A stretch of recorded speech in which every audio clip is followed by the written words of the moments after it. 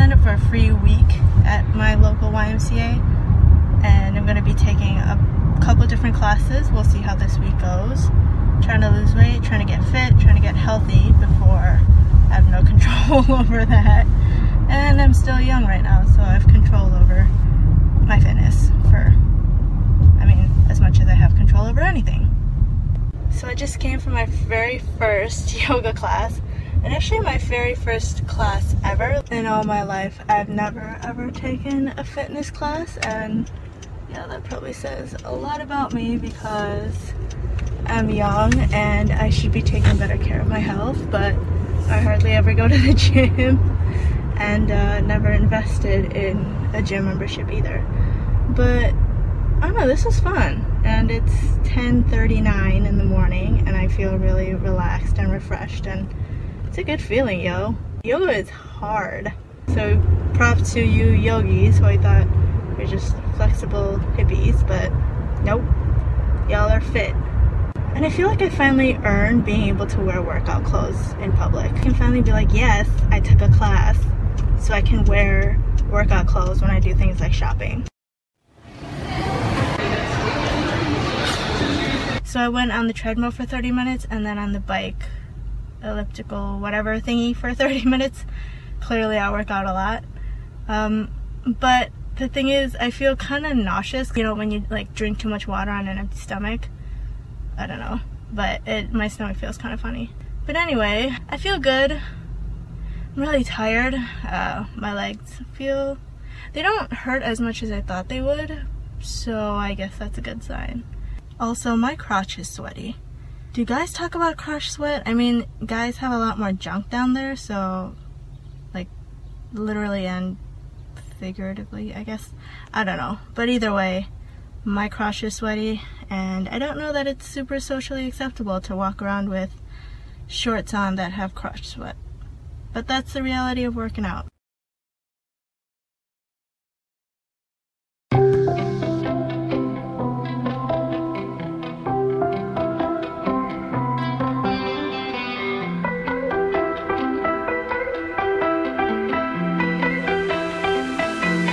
Summer is gone.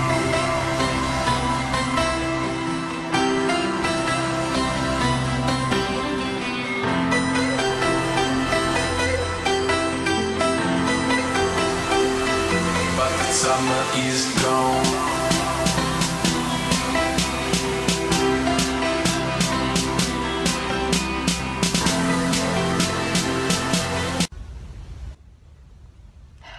So I just finished my cycle class. So at about minute 25, I want to say, I had to step out because I felt like I was going to throw up. So I had to go outside and sit on the stairwell.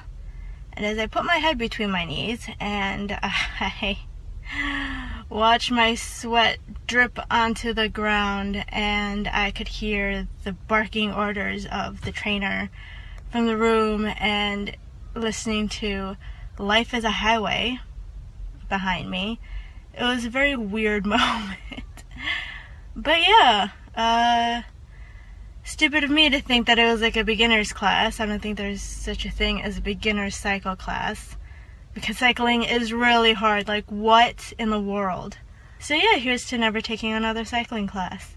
Also, I'm pretty sure the trainer or the whatever for the cycling class, he's a trainer and I swear he was the same trainer who made a girl cry yesterday at the gym. So, yeah, pretty sure he's a sadist.